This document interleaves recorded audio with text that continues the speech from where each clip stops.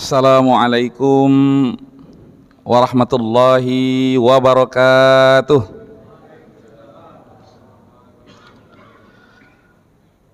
Alhamdulillahi rabbil alamin wa bihi nasta'in wa ala umurid dunya waddin. Allahumma inna ala zikrika wa syukrika wa husni ibadatik. Allahumma innaka afuwun karimun tuhibbul afwa fa'fu anna.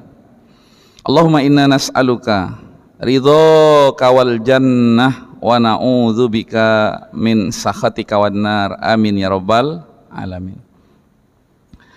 Bapak Ibu sekalian kaum muslimin yang berbahagia kita bersyukur kepada Allah Subhanahu wa taala atas karunia-Nya, atas kasih sayangnya yang selalu dianugerahkan kepada kita semuanya. Alhamdulillah kita dalam keadaan sehat walafiat dan bisa menjalankan aktivitas kita sehari-hari sebagaimana yang kita harapkan. Mudah-mudahan walaupun umur berkurang tetapi bertambah ketaatannya. Amin ya rabbal alamin. Kemudian mari kita bersolawat menyampaikan salam kepada baginda Nabi kita Muhammad sallallahu alaihi wasallam dengan mengucapkan Allahumma salli ala sayyidina Muhammad wa ala ali sayyidina Muhammad. Assalamu alayka ya Rasulullah. Pada episode yang pertama pada dua pekan lalu kita mengawali uh, kajian Ghazul Fikri kita dengan sejarah. Ya, asal muasal. Uh, Ghazul Fikri ini yaitu saat Nabi Adam alaihissalam bersama pendamping hidupnya istrinya Hawa di surga gitu ya. Nah, ini saat beliau bersama istri di surga ya. Dan Allah Subhanahu wa taala merintahkan untuk tinggal di surga. Ya tinggallah ya di surga. Kemudian Allah Subhanahu wa taala memberikan fasilitas. Ya wa ya ada muskun.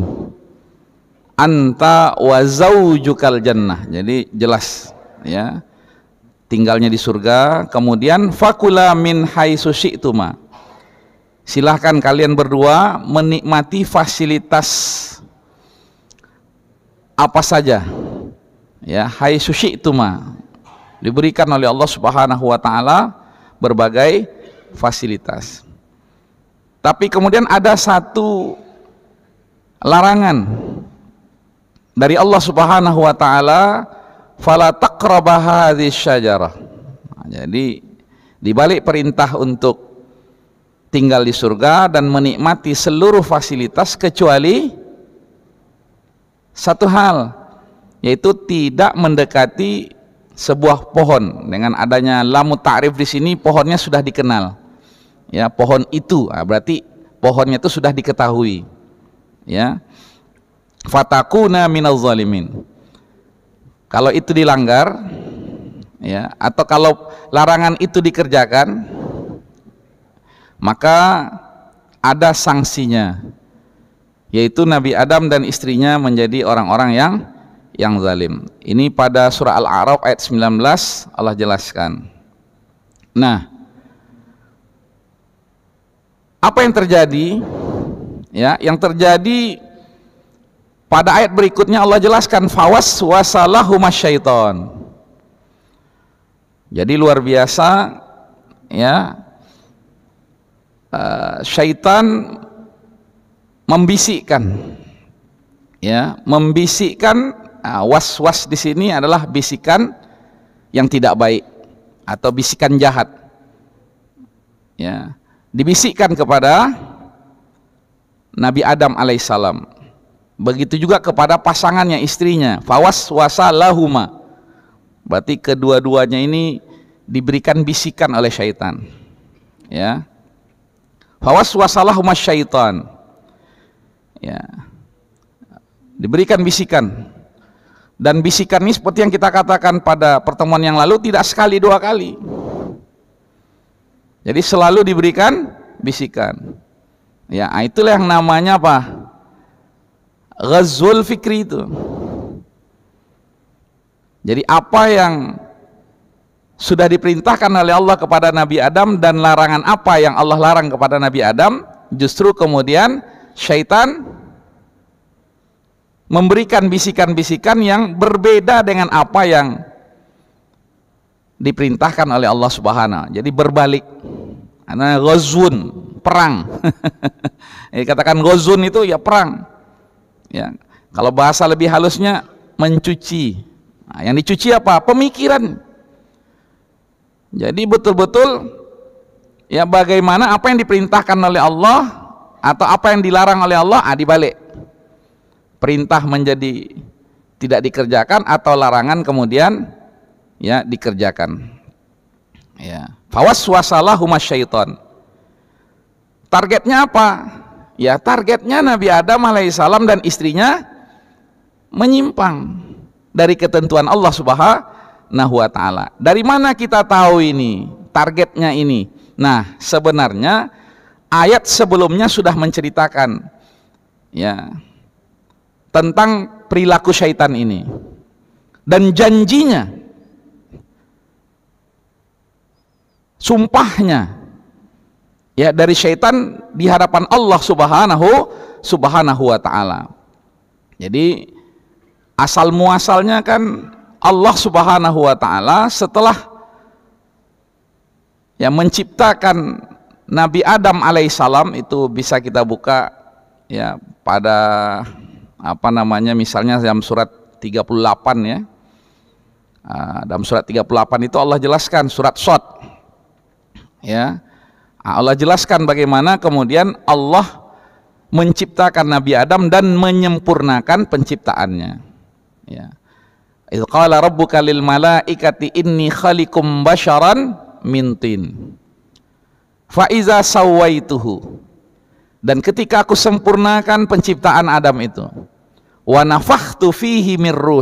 Nah, ini ulama mengatakan wa nafakhtu fihi ini bagian dari kesempurnaan penciptaan manusia itu diberikan bimbingan-bimbingan.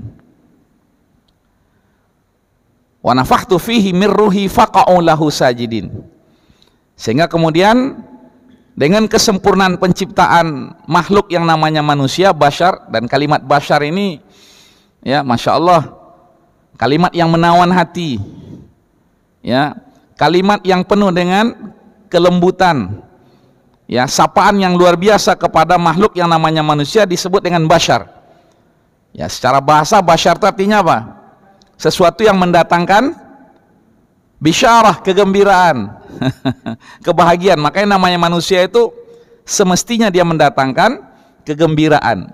Ya bushro dikatakan bushro sesuatu yang menggembirakan dan Allah menyebut manusia dengan bashar sebagaimana Allah menyebut manusia dengan al-insan.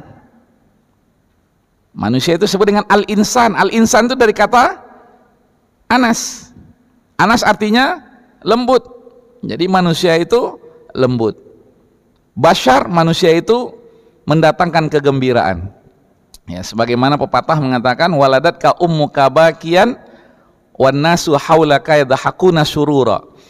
Kita lahir ya dalam keadaan menangis.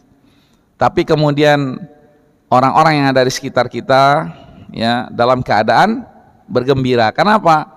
Lahirnya seorang bayi itu mendatangkan kegembiraan basyar. Ya apalagi Rasulullah mengatakan setiap yang lahir dalam keadaan fit fitrah. Maka begitu melihat ya bayi lahir kita dalam keadaan bergembira karena apa? Manusia itu namanya basyar. Ya maka ketika Allah mengatakan inni khaliqum basyaran aku ciptakan manusia disempurnakan penciptaan itu kemudian bagian dari penghormatan kepada ciptaan yang namanya manusia itu basyar itu kemudian Allah meminta ya seluruh makhluk untuk bersujud takriman sebagai bentuk apa? kehormatan, kemuliaan. Ya, faqa'u lahu sajidin. Nah, semuanya ya dalam surat Sot ayat 38, ah, surat Sot ya ayat 73 Allah katakan semuanya bersujud. Kecuali ah itu dia illa iblis. Aba illa iblis istakbar wa kana minal kafirin. Jadi dia istakbar, menganggap dirinya yang lebih apa? baik. Ya. Kemudian Allah katakan wa kana minal kafirin. Ya. Jadi termasuk orang-orang yang kafir. Kemudian Allah Subhanahu wa taala pada ayat selanjutnya mengatakan, "Qala ya iblis, hai iblis, ma manaka alla tasjud?" Kok engkau nggak mau bersujud? Sementara aku yang apa? Id amartuk. Ya. Kan aku yang merintahkan untuk bersujud, bukan makhluk, bukan Adamnya, ya, bukan yang lain, tapi id amartuk aku yang merintahkan. Allah Subhanahu wa taala yang merintahkan. Tapi kemudian iblis tak mau tak mau untuk bersujud. Ya. Kemudian iblis mengatakan, Ya qala ya iblis summa manakal an antas juda lima khal eh, apa? Qala iblis. Qala ya iblis. Allah ya berkata, Ya iblis wahai iblis, ma mana'aka an tasjud lima khalaq tu biyadayya.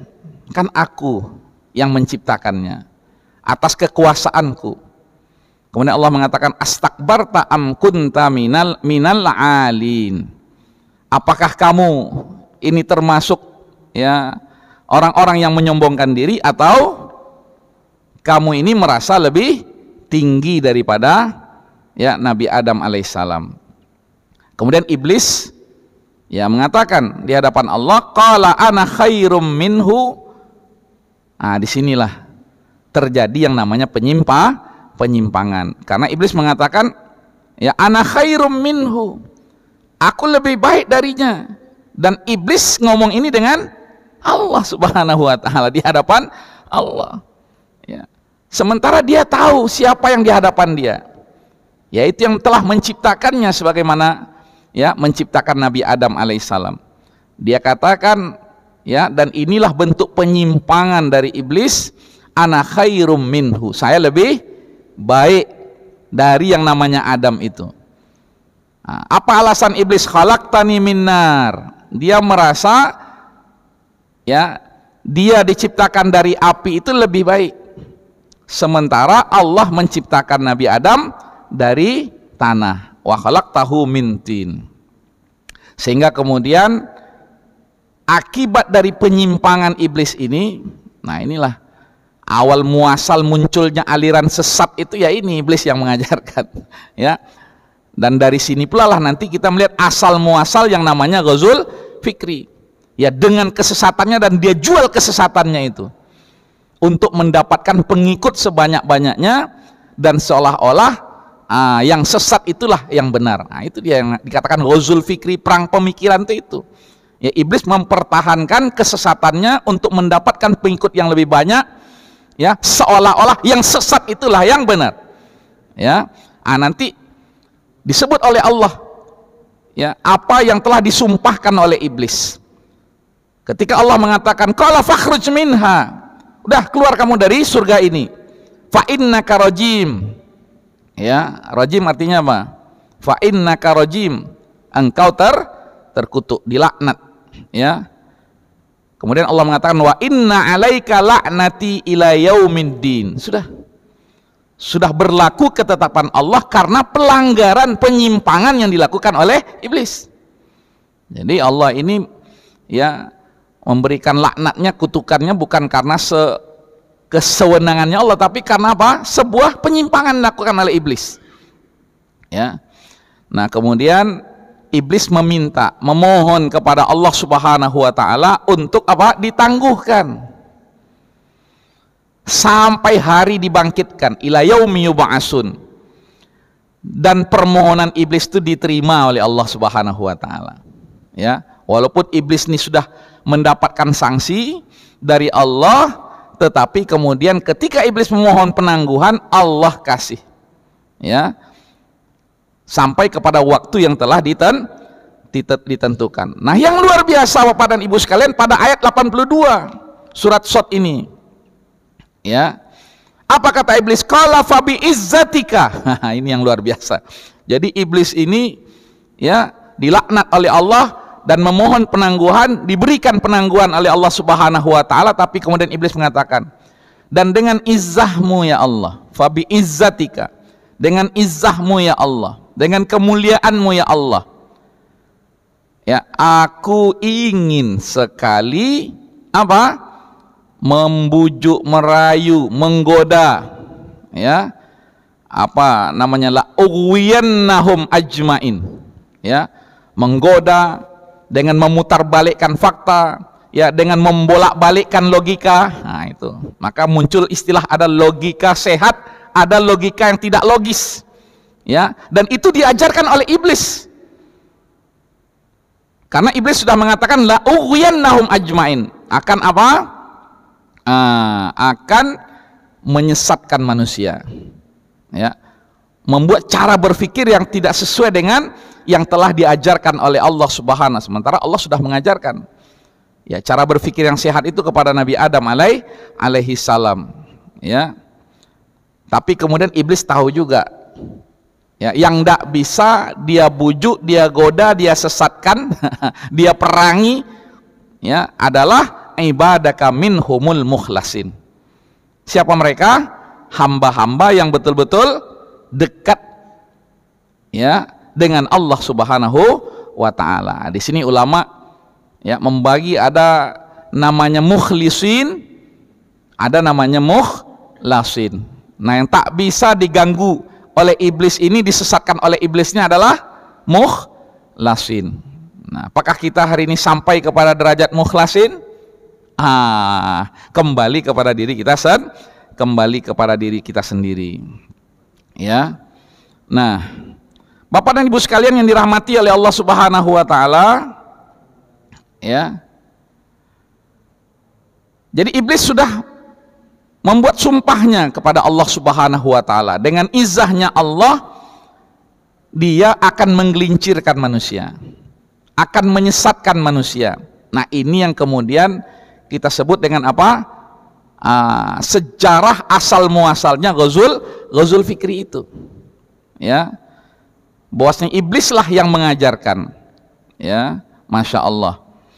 Bahkan dalam surat Al-Hijr misalnya ayat 39 ya Iblis berkata, "Qala rabbi bima aghwaytani la uzayyinanna lahum fil ardi wa la ughwiyannahum ajmain."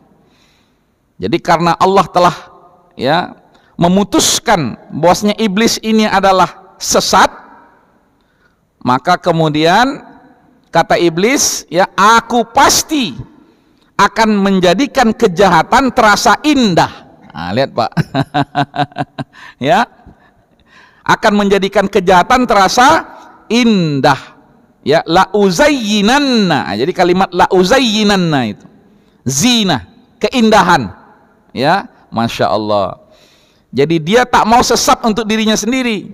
Tapi dia ingin menyesatkan dan menjadikan kesesatan itu indah la uzayyinanna lahum bagi orang-orang yang akan dirangkul oleh iblis untuk menjadi pengikut-pengikutnya itu ya la uzayyinanna lahum fil ardi wala ughwiyannahum ajmain. Jadi betul-betul ya iblis ini bersumpah untuk menyesatkan manu, manusia, masya Allah. La haula wala quwata illa la haula wala quwata illa billah. Nah, tapi kemudian iblis juga mengatakan pada ayat yang ke-40-nya itu illa ibadaka minhumul mukhlasin. Nah, sama pada surat Sot tadi kecuali orang-orang yang betul-betul yang memiliki keikhlasan yang tinggi dan kita berharap ya khususnya yang hadir di sini dan siapa saja tentunya sebagai seorang muslim mukmin ingin menjadi orang-orang yang muh mukhlasin ya dan ciri-ciri keikhlasan ini ah, tentunya sudah dibahas oleh guru-guru kita ya pada apa namanya kesempatan yang lain. Bapak dan Ibu sekalian yang dirahmati oleh Allah Subhanahu wa taala tapi pada ya apa namanya surah Al-Hijr ini Allah Subhanahu wa taala memberikan sebuah per, apa namanya pernyataan ya bahwasanya iblis itu sesungguhnya tidak punya kuasa apa pun. Iblis itu sesungguhnya tidak punya kuasa apa pun, ya. A, kecuali orang-orang yang mengikuti ib, iblis. Jadi kalau udah pengikut iblis, ah, enggak bisa lagi. Tapi orang yang tidak mengikuti iblis, ya iblis tak punya kuasa apa pun. Nah inilah yang dikatakan oleh Allah Subhanahu Wa Inna ibadi dan Allah menyebutnya dengan kalimat yang lembut sekali pak. Apa kata Allah? Sesungguhnya hamba-hambaku. Inna ibadi, ya sesungguhnya hamba-hambaku, ya laisalaka alaihim ini pernyataan yang tegas dari Allah ya. Laisalaka alaihim sultanun. Artinya apa? Engkau tak bisa menguasai mereka. Menguasai hamba-hambaku, hamba-hamba Allah Subhanahu wa taala. Nah, jadi ini jaminan sebenarnya dari Allah Subhanahu wa taala, garansi dari Allah. Ghazul fikri itu tidak ada gunanya. Enggak ada manfaatnya kalau kita ini istiqomah di jalan Allah Allah Subhanahu ini yang penting itu sebenarnya keistiqoman di jalan Allahnya. Walaupun kita belajar nanti gozul fikri itu dari waktu ke waktu dan bagaimana itu menyapa ya para nabi dan rasul sebagaimana gozul fikri itu sudah luar biasa hari ini ya berbagai macam cara untuk yang pertama menjauhkan kita dari Islam. Jadi target pertama itu menjauhkan manusia ini dari jalan Allah. Itu target pertamanya.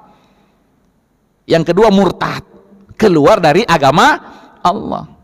Jadi kalau ada yang mengatakan, wah ini biar kita murtad, belum tentu. Karena yang paling penting itu adalah keluar dari jalan Allah Subhanahu wa taala. Karena itulah kita meminta kepada Allah itu agar kita ini berada di jalan Allah. Ihdinas siratal mustaqim. Ya. Kalau kita sholat lima waktu Berapa rakaat tuh kalau dikumpulkannya lima waktu itu? 17. Di dalam ya setiap rakaat itu kita membaca Al-Fatihah. Dan dari ya ayat-ayat Al-Fatihah itu ada doa. Dan di antara doa itu adalah ihdinas siratal mustaqim. Karena memang efek bola salju dari kesesatan yang diajarkan iblis ini sampai hari ini luar biasa. Ya, makanya ini dari awal-awal ini perlu kita pertegas ya apa penting ini kita belajar yang namanya Ghazul Fikri ini? Saya tanya kepada Cak Gusri ini siapa yang minta saya ya yang minta saya ini? Uh, apa kita mengkaji Ghazul Fikri? Ya Ustaz Doni ya. Doni tanggung jawab ya. Saya bilang ini berat juga untuk jamaah kita ini karena asing masih ya istilah Ghazul Fikri. Tapi insya Allah Nah, belajar kita dari mana bagaimana syaitan itu ketika dia tak mau ikut perintah Allah, kemudian dia meminta kepada Allah penangguhan agar kemudian mendapatkan pengikut ya. Ah, mudah-mudahan kita diberikan pemahaman sehingga penting. Karena nanti ada Pak hal-hal yang luar biasa yang hari ini kalau langsung saya ke situ nanti pasti banyak nggak mau nerima. Karena kita aja ya saya baru betul-betul baru belajar tentang Ghazul Fikri setelah 9 tahun saya di pesantren jadi dulunya belajar-belajar-belajar gitu. Begitu udah di Al-Azhar wah ini ngeri-ngeri ini rupanya kan. Masalah Ghazul Fik dan itu memang tersistematis. Didesain. Sampai kita kita kita hari ini nggak sadar bosnya itu udah bagian dari Ghazul Fikri Nah, tapi kalau mulai dari situ, apa kok yang diceritakan oleh Ustadz kok? Ah, nanti khawatirnya saya kan kita malah salah fa faham sementara ini hal yang sangat penting dan tantangan terbesar kita hari ini adalah Ghazul Fik. Sehingga gampang sekali kita itu menerima apa? Pemikiran-pemikiran yang sesungguhnya jauh dari Islam. Nah, di, dikatakan jauh dari Islam kita nggak terima, tapi kenyataannya iya. Ya, kalau Muhammad, nah, Dokter Muhammad Imarah guru saya di pemikiran, nah ini Ustaz Doni, saya belajar dua tahun dengan beliau nih, Dokter Muhammad Imarah. Kadang kita undang dia ke dulu ada namanya Forum Studi Sumatera, kadang kita undang juga ke Rumah Riau. Ya, kita undang kawan-kawan yang lain. Nah, beliau ini memang pemikir Islam. Kata beliau, ya, dua tantangan ya yang terbesar hari ini itu khususnya di bidang pemikiran Islam itu yang pertama ya aliran yang berafiliasi kepada Khawarij. Ya, saya tak sebutkan kalau hari ini ada kelompok-kelompok itu, ah, cukup kawan-kawan yang lain yang menjelaskan. Nah, tapi kalau mau diskusi nanti habis subuh boleh. Ya, ah, beliau ini ya kalau bahasanya guru kami ini ya ya ta'abbad bizawahirin nusus. Ini Ustaz Doni. Kalau bahasanya beliau itu ya ta'abbad. Ya, sudah apa? Ya ta'abbad menjadikan zawahir ya jadi teks-teks Al-Quran ini dan teks-teks hadis Rasulullah ini sudah dijadikan Tuhan. Nah, jadi kalau kita nggak sadar, wih dia kan mengatakan kalau Allah, perintah Allah, kalau Rasul, perintah Rasul. Apa yang salah Pak Ustadz? nah, kita, wah ini ya. Tapi kemudian kita melihat betapa dangkalnya pemahaman ya kelompok-kelompok seperti ini terhadap is Islam. Dan bahkan mohon maaf mereka ini dikenal dengan ahlul ibadah. Ya ahlul ibadah walakinnahum yatamayyazuna bil jahli. Tapi ciri khas mereka adalah kebodohan. Ini yang menyampaikan bukan saya ulama kita. Ah, ini bahaya yang pertama. Ya ada yang mengatakan ekstrim kanan. Nah, kalau saya nggak nggak terlalu suka dikatakan ekstrim kanan ekstrim kiri ya Nah, tapi inilah kenyataan yang kita uh, dapatkan hari ini. Ada beberapa kelompok yang barangkali nanti bisa kita telusuri. Nah, yang kedua, nah ini dia yang terkait dengan Gozul Fikri ini. Yang sebenarnya kelompok pertama bisa saja dikatakan Gozul Fikri juga, tapi kelompok kedua ini juga yang disebut dengan harakatu at-taghrib. Westernisasi. Sampai hari ini oh, masih jalan. Saya ketika di UIN itu belajar dengan ya kelompok ini. Dan saya nggak tahu, saya dengar dia sudah meninggal sih. Orang Belanda tapi lama di Indonesia sampai meninggalnya katanya di Indonesia. Namanya Mr. Karel Stenbring ya. Nah, Karel Stenbring dulu diundang ke ya kampus kita yang ada di Pekanbaru ini dan beliau wah luar biasa ketika dia memaparkan nah ketika kita nggak memahami Islam dengan baik mantap ini ya Syekh kafir ini melakukan apa membuat ya analisa-analisanya. Tapi kita yang memahami tahu bahwasanya dia mengajari kita sesuatu tentang Islam tapi pendekatannya bukan pendekatan Al-Quran dan Sunnah. Pendekatannya adalah pendekatan budaya. Pendekatannya adalah antropologi dan sosiologi. Ya, ini berbahaya sekali. Ya nah, tapi kita amati kita ikuti dua tahun ya Allah saya bilang. Ini penyesatannya luar biasa. Cuman karena keramahannya ya. Suka dia menyapa kita apalagi orang kita nih kalau udah berbau-bau bule ini suka kan kayak bapak ini berbau bule nih. Nah, suka kita. Wah kadang pegang-pegang jenggotnya jambangnya. Wah kayak syekh-syekh. Nah, ternyata masya Allah. Dan bahkan dia punya komunitas. Ya komunitas ini sebenarnya adalah murid-murid dari yang dulu masuk ke Indonesia ya yang disebut dengan namanya itu Snook Horgronye Nah, dan dia menyatakan, saya ini muridnya Sunnah Khorronya kata dia. Nah, jadi on mission. Nah, yang berasal dari barat ini luar biasa. Nanti insya Allah sampai pada waktunya nanti kita akan berbicara seperti apa yang mereka mendesain yang namanya Ghazul Fikri dalam konteks dunia mo modern. Ya, di balik yang namanya kemajuan teknologi, ya, di balik yang namanya wah luar biasa kalau sekarang itu namanya moderasi jadi seolah-olah ini adalah moderasi beragama. Dan di antara pernyataan yang sesat menyesatkan dalam moderasi beragama ini apa? Semua agama sama. Itu Ustaz ya. Nah, ini yang berbahaya kan di sini ya. Tapi saya tidak mau memulai dari sini. Kita memulai dari ya bagaimana iblis ya menggelincirkan uh, manusia uh, yang yaitu dengan apa? Uh, merubah cara berpikir manusia. Tapi Allah Subhanahu wa taala memberikan garansi. Ya, ini yang yang mudah-mudahan bisa kita pegang. Apa kata Allah? Inna ibadi laisa laka alaihim sultanun. Hai iblis, ah, jangan macam-macam dengan ham hamba-hambaku.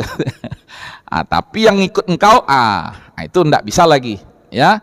illa manittaba'aka minal minal ghawin. Ya, jadi ketika dilaknat kemudian iblis ya meminta penangguhan ya permintaannya dikabulkan oleh Allah maka dengan itu ghazul fikri dimu dimulai jadi genderang perang itu dimulai nah, ini Pak Jahar ada sini Pak Jahar ya.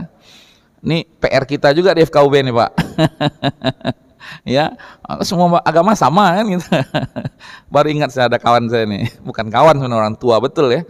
Nah, nanti kadang saya sering nih pak kalau udah di grup kita itu dibuat itu itu nah, kadang sering di japri Ustadz ini gimana nih Ustadz menghadiri ya gini gini gini. Nah, saya bilang kita sebagai pengurus terkait dengan nah, kan gitu kan dengan kehadiran di sana ya nggak ada masalah. Tapi kalau kita ikut ritual keagamaan dia artinya jadi masalah. Kan gitu Pak Jare? Sepakat gitu ya karena beliau ustadz juga nih. Ya nah, jadi itu. Ini beda-beda tipis. Ya kalau beliau kuat ya kalau saya enggak kuat yang kayak gini karena bagi saya barang asing. Ya nah, tapi ya forum ini penting juga biar kita kemudian mengenal mereka lebih dekat. Tapi tak kuat iman kita ah bahaya. Ya Nanti Ustadz Doni kita coba masukkan juga lah di FKUB Ustadz ya. Nah, biar biar beliau tahu juga seperti apa kalau antar beragama. Selama ini kan kita di internal beragama saja kan. Nah, saya merasakan itu, wah, suatu hal yang luar biasa. Ya, tapi ya mudah-mudahan ini menjadi tantangan tersen tersendiri. Ya. Jadi iblis dikabulkan. Nah, dengan pengabulan inilah Gozul Fikri itu dimulai. Ya. Nah, dalam surah Al-A'raf ayat 17 ya. Sudah sudah uh, dijelaskan tadi ya belum ya? Uh, dalam surah Al-A'raf ayat 17 itu ya bagaimana ya berbagai cara berbagai pintu dibukakan oleh iblis itu. Untuk perang pemikiran itu. Dibukakan. Dengan bahasa apa? Atiyannahum kata iblis. Mimbaini aidihim.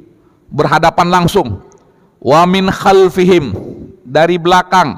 Wa an aimanihim dari arah kanan. Wa an syama'ilihim dari arah kiri.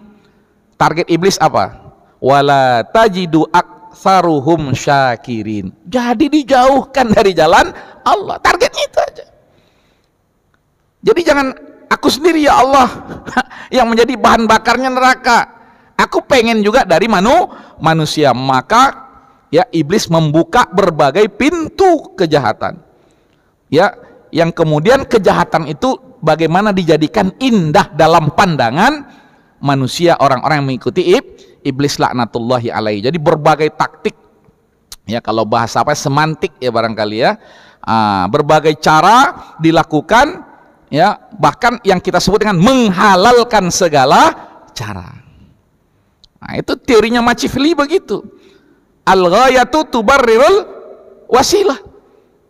Untuk suatu tujuan untuk suatu kejahatan untuk suatu target maka halalkan segala cara. Masya Allah. Dan Al-Quran juga menceritakan bagaimana kemudian manusia-manusia ini ya disebut di dalam Al-Quran itu menghalalkan yang diharamkan dan kemudian mengharamkan yang diha dihalalkan. Masya Allah. Nanti kita bicara tentang Yahudi. Ya tapi nanti sabar dulu. Nah, bicara tentang Nasrani dan gerakan-gerakan Yahudi gerakan-gerakan Nasrani yang luar biasa. Di antara gerakan Yahudi yang luar biasa hari ini namanya gerakan Zionis Zionisme. Begitu Zionisme itu difatwakan haram ya ah mereka muncul topeng-topengnya. Dan di antara topeng Zionisme itu ada namanya apa? Gerakan namanya Frima apa nah Freemasonry begitu Freemasonry diharamkan, nah, dulu sempat juga beberapa ulama ikut di situ karena nggak tahu, dianggap itu adalah gerakan kemanusiaan. Padahal ini gerakan Ghazul Firqi yang luar biasa. Nah, mereka buat lagi klub-klub namanya apa? Di Pekanbaru ada. Saya ketemu dengan beberapa tokohnya. Lions Club. nah, biasanya orang-orang kaya, pengusaha-pengusaha dirangkul. Kalau Cina banyak kali Pekanbaru yang ikut. Ya saya sempat berdiskusi dengan mereka. Oh ini kami kemanusiaan Pak Ustadz. Ya, kami ini mengumpulkan anak-anak muda Pak Ustadz. Ada namanya Lions Club, ada namanya Rotary, Rotary Club. Dan saya ya tidak melihat mereka khawatir ketika dikatakan mereka pengikut Lions Club karena dianggap tuh ya seperti klub-klub yang lain Rotary Club klub-klub yang lain nah, tapi ini nanti pada waktunya insya Allah akan kita ceritakan dan mudah-mudahan ini nggak menjadi fitnah Ustaz ya ini bahaya nih apa namanya ini judul ini. Tapi ya kita mengungkapkan ini berdasarkan apa data-data ya dan uh, penelitian daripada ya uh, ulama-ulama uh, kita terkait dengan gerakan-gerakan ini. Dan ini sudah berlangsung ya lama. Jadi tidak setahun dua tahun sudahlah lama. Nah inilah cara syaitan diajarkan oleh syaitan bagaimana menghalalkan segala cara membuka pintu-pintu kesesatan itu sebanyak bah sebanyak banyaknya dan memang Allah telah mengisyaratkan misalnya dalam surah Al-An'am wala tattabi'us subula kata Allah. Ya. Ah, Allah mengatakan jangan ikuti jalan jalan. Jadi jalannya banyak.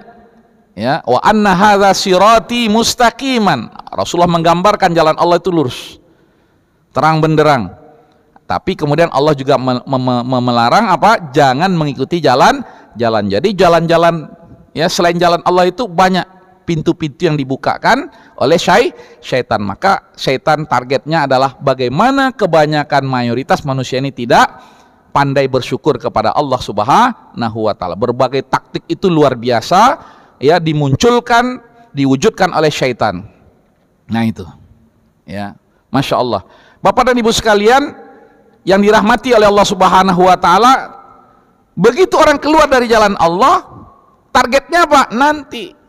Di akhirat banyak pengikutnya yang akan menjadi kayu bakarnya neraka jahan jahannam. La amla anna jahannama minkum ajmain. Jadi betul-betul apa?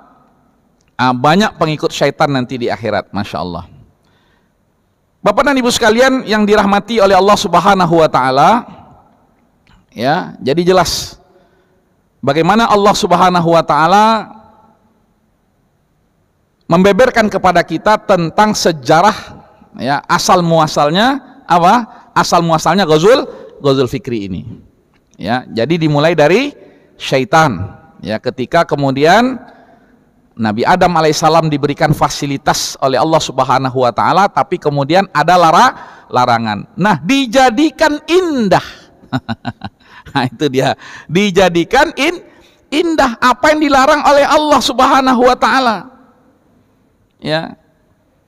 Allah melarang untuk mendekati pohon itu, tapi kemudian iblis terus merayu, menggoda berbagai cara dilakukan sehingga kemudian apa? Nah, kepada puncak dan ini dilakukan juga oleh manusia hari ini. Kepada puncak ya dari cara merayu menggoda itu dengan apa? Sumpah. Kalau bahasa kita sampai termakan sumpah. ya, sampai kemudian setan bersumpah. Apa kata setan? Wa qasamahuma. Jadi sudah dirayu berkali-kali ya bagaimana kemudian penyesatan itu bisa terjadi? Enggak mempan-mempan sampailah kemudian syaitan bersumpah. Ya, bersumpah di hadapan Nabi Adam dan Hawa. Wa qasamahuma. Apa sumpahnya? Inni lakuma laminan nasihin. Jadi ya apa sumpahnya itu dia katakan saya ini betul-betul memberikan nasihat kepada kalian. Wah, ini. Dan hari ini ya cara-cara seperti itu dilakukan. Seolah-olah itulah. Makanya kejahatan yang dibungkus, ya kan? Dengan bungkus-bungkus yang menarik-menarik seolah-olah kemudian dia menjadi kebe kebenaran. Nauzubillah. Sampai ya di antara pernyataan-pernyataan hari ini apa? Kebenaran itu kan relatif. Kan gitu ya Pak Jar ya. Sering kadang kita kebenaran itu kan relatif. Sementara di hadapan kita ada Al-Qur, Al-Qur'an yang jelas sekali menjadi petunjuk ya mana yang benar dalam kehidupan kita? Begitulah cara syaitan menggelincirkan kita sehingga kemudian seolah-olah ya kan begitu. Nah jadi dia mengatakan saya ini memberikan nasihat kepada kalian berdua. Ya. Kemudian apa yang terjadi? Akhirnya termakanlah. Nah, inilah yang namanya makhluk, yang namanya manu, manusia. Ya, tergelincirlah. Nabi Adam dan Hawa dari apa? kebenaran itu. Ya, kemudian yang luar biasa Pak dan Ibu sekalian, ya dalam ayat 22 surah Al-A'raf itu ya ketika memang mereka tergelincir, bersalah, berdosa, ya melanggar atau menjalankan larangan Allah Subhanahu wa taala, falamma dzaqas syajarata badat lahuma sawatuhuma wa alaihi min warakil jannah nah yang luar biasanya dari manusia Bapak dan Ibu sekalian ya apa yang luar biasanya dari manusia itu ketika mereka merasakan pelanggaran itu terjadi ya Kemudian Allah nampakkan efek dari pelanggaran itu, dampak dari pelanggaran itu. Ya ibaratnya kalau sekarang itu ya kita ini sudah mulai dikeluarkan dari Islam itu. Tapi kemudian Allah ingatkan kita mungkin karena kebaikan-kebaikan kita. Mungkin karena nasihat dari guru-guru kita, sebagaimana nasihat dari iblis-iblis dan pengikut iblis tadi, ya. Kemudian yang namanya manusia itu begitu dia ingat kesalahannya, dia kembali ke jalan Allah. Nah, ini yang membedakan manusia dengan ib, iblis. Ya. Qala rabbana zalamna anfusana. Ini sebuah apa namanya? Garansi juga dari Allah. Ya, sehebat apa pun nanti perang pemikiran itu, ya seberat apa pun tantangan itu, ketika manusia kembali ke jalan Allah dan dia mengatakan, "Ya Allah, kami ini telah menzolimi diri kami." Wa illam taufir lana wa tarhamna lanakunanna minal khasirin. Kalau engkau tak ampuni kami, tak berikan kasih sayangmu, rahmatmu kepada kami, maka sungguh kami akan menjadi orang-orang merugi. Nah, di sinilah yang namanya kehebatan manu, manusia. Maka betul ketika ya iblis mengatakan illa ibadaka minhumul lasin terselamatkan Nabi Adam. Terselamatkan Hawa dari apa? dari gangguan tadi walaupun kemudian dia terprosok tergelincir dari jalan Allah Subhanahu wa taala. Nah, jadi harapannya besar Pak dan Ibu sekalian ya ketika apa namanya tantangan Gozul Fikri ini ada di hadapan kita tapi kita punya jalan untuk kembali ke jalan Allah Subhanahu wa taala. Karena nanti setiap kali kita akan menyampaikan bagaimana konspirasi yang luar biasa terhadap umat ini sampai hari ini sampai nanti hari kiamat ah, jangan pula kemudian kita pesimis karena tantangan yang terbesar hari ini Pak dan Ibu sekalian ya dengan maraknya Ghazul Fikri itu adalah pesimis terhadap masa depan Islam nah ini yang lebih berbahaya dan itu yang dibuat begitu keluar kita dari Islam bahkan kita nggak bangga dengan keislaman kita bahkan sebagian dari kita murtad Nah, kemudian kita tidak percaya lagi Islam itu menjadi solusi dalam kehidupan. Ini dia yang luar biasa. Ah, mudah-mudahan, ya kan? Dengan kita belajar ini tambah semangat kita satu fokus dengan keislaman kita dan yang kedua kita tahu perangkap-perangkap syai syaitan yang namanya ghazul fik, ghazul fikri. Karena ini yang dirusak oleh ghazul fikri luar biasa. Yang pertama cara berpikir dirombaknya total yang kedua akhlak makanya dekadensi moral yang terjadi hari ini apa karena kita sudah jauh dari Islam. Tapi dikatakan oh gara-gara kalian ini berpegang teguh kepada Islam. Ah kalian akhirnya terbelakang. Oh dibuatkan kayak gitu. Jadi begitu di, begitulah cara mereka menjauhkan kita dari is, Islam. Dan yang luar biasa hari ini ya yang menghantam umat ini umat ini sendiri. Nah ini nah ini Ustaz Doni tugas kita ini kan ya kadang kita ingin menumpas ini ya Ghazul Fikri. Tapi satu sisi kita bisa berpecah belah juga. Ah, ini gimana caranya? Ya kadang kita buat beberapa statement gitu kan kan banyak hal-hal yang kadang kita masih berselisih. Ya karena mungkin manhajut tafkirnya cara berpikirnya juga yang berbeda.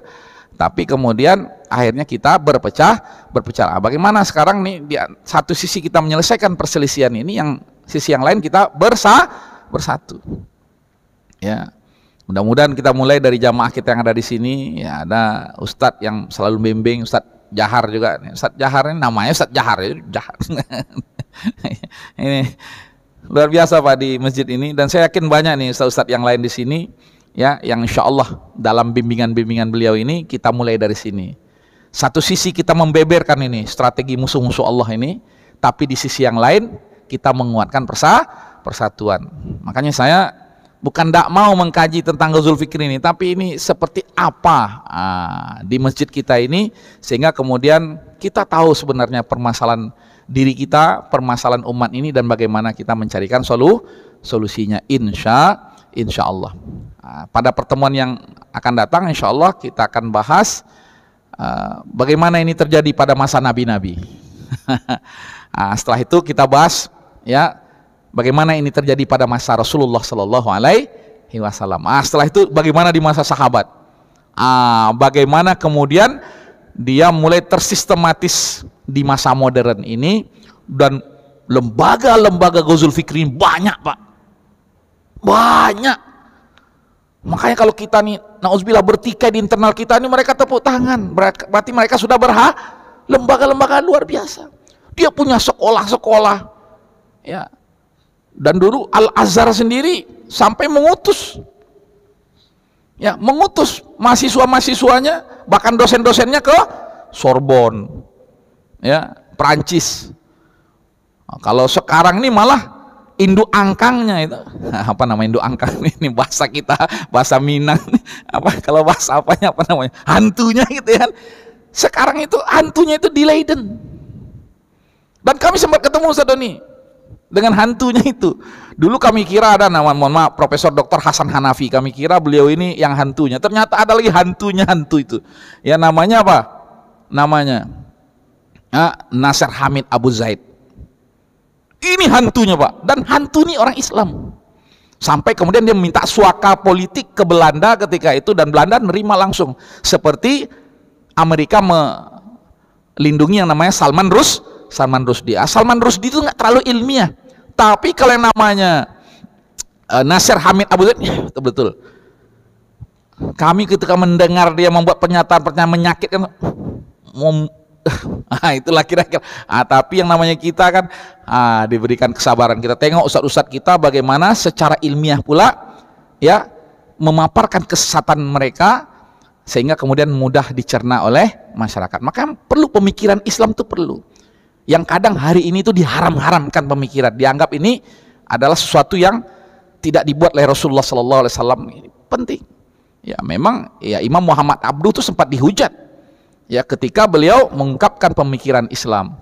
Ya di Aljazair itu ada namanya Balik bin Nabi dan banyak ya uh, sebenarnya pemikir-pemikir Islam yang kemudian mereka dihujat. Padahal ini dalam rangka itu tadi menghadapi orang-orang yang mereka ini apa menjadi ujung tombaknya Ghazul Fikri itu untuk memerangi is Islam ini nah, insya Allah kalau bahasanya Allah yuriduna liyutfi'u nurallahi bi afwahihim mereka ingin memadamkan cahaya Allah. Wallahu mutimma nurihi. Dan Allah selalu ya apa? Allah mengangkat cahayanya Allah Subhanahu wa taala walaupun mereka nggak suka. Mau namanya kafir, mau namanya munafik, mau namanya musyrik. Kalau Allah yang mengatakan memberikan jaminan, maka kita ingin jaminan Allah ini yang akan kita pe pegang. Insya Allah nanti dari ya satu sejarah ke sejarah yang lain kita melihat bagaimana sejarah Ghazul Fikri ini dan bagaimana Ghazul Fikri ini di dunia modern ini mereka memang dengan sarana prasarana yang luar biasa pembiayaan yang luar biasa ya bahkan ada apa namanya institusi-institusi ya yang memang membackup betul. Saya kaget ya ketika saya tengok institusi ini seolah memberikan beasiswa pendidikan, nah, tapi sebenarnya ini bagian dari rancangannya Ghazul Ghazul Fikri itu. Dan sampai kami data itu, kita nggak sadar, ya. Dan itu baru ketahuan setelah ber, beberapa wawancara terhadap ya orang-orang diwawancari oleh foundation foundation itu. Wah di situlah kita tahu bagaimana mereka mengambil ya orang-orang yang terbaik tapi kemudian pemikirannya diracuni dengan racun dari iblis laknatullahi alai alaihi ya nah, ini saja lebih kurangnya saya mohon dimaafkan kalau ada tanya jawab nanti setelah sholat uh, suruk aja ya. Nah, kita uh, sambil apa lingkar kecil lah kalau ada yang barangkali mau didiskusikan lebih lanjut. Jazakumullah khairan. Lebih kurangnya saya mohon dimaafkan. Wassalamualaikum warahmatullahi wabarakatuh.